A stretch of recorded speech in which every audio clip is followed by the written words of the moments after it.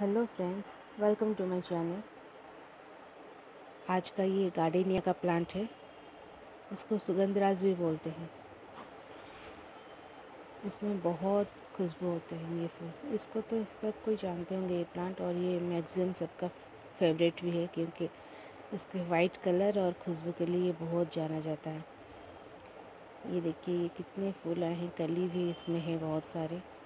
और ये मेरा फेवरेट प्लांट है क्योंकि ये वाला जो प्लांट है, ये वैरायटी इसका कली एकदम एक भी नहीं गिरता है। बट ड्रब का प्रॉब्लम एक भी नहीं है। दूसरे टाइप का भी जो मेरे पास है गार्डनिया उसमें फूल आते हैं लेकिन इतना नहीं आते हैं। उसमें बड ड्रब का भी बहुत प्रॉब्लम आता है। लेकिन ये बहुत अच्छा प्लांट है।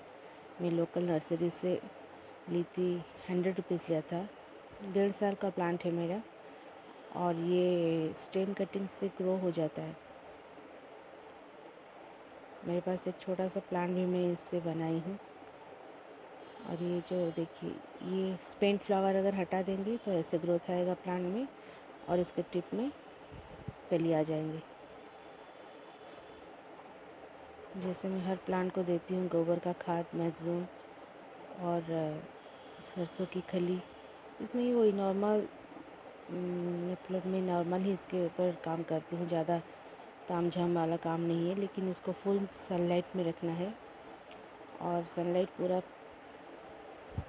जहाँ पर आता हो, वहीं पर रखना चाहिए, और इसको पानी अभी गर्मी के दिन थोड़ा मॉइस्ट रखना चाहिए मिट्टी।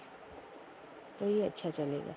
ये मेरा एक छोटा सा पॉली बैग में है, और ये खूब अच्छा चल रहा है अभी। ये प्लांट अगर आपको कहीं मिले तो ला के ज़रूर आड़ कीजिएगा अपने गार्डन में। कैसा लगा वीडियो कमेंट करके बताइएगा। Thank you for watching my channel